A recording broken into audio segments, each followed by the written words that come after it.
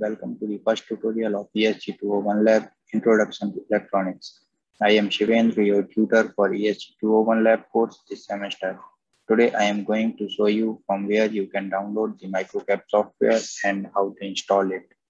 MicroCap is a SPICE compatible analog digital circuit simulator. A circuit simulator is a computer program used to predict the behavior of an electrical circuit under different operating conditions.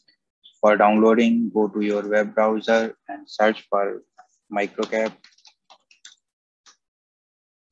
And then open spectrum-soft.com link. Go to the download section and here you can see there are different microcap versions. For easy installation you can download the full cd of the latest version which is microcap 12.0.5 click on the cd this will start start the download i have already downloaded it so i am going to cancel it and now as we have installation file so let's go for the installation.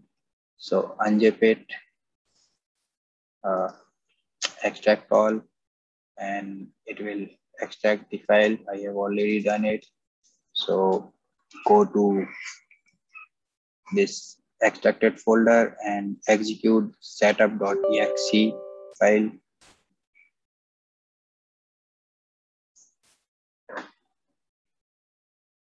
So just click on the next and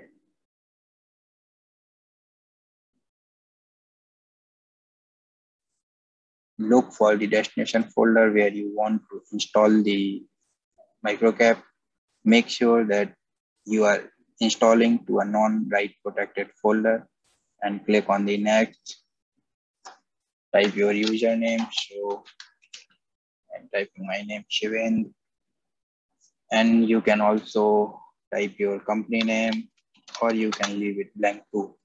Click on the next few more times and check mark the 32-bit or 64-bit version. You can check mark both also and you can check mark to create desktop icon and start menu if you wish. Click on next and next. This will start the installation now we have microcap installed in our system. Hit on the finish. This will open the microcap GUI.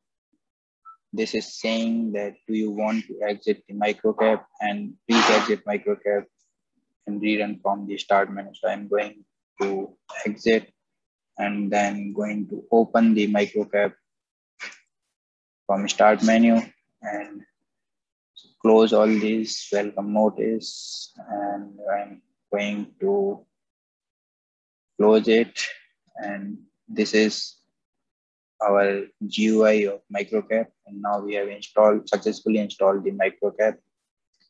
Thank you for the watching. We will see the details about GUI and how to make schematic and done simulations in next video.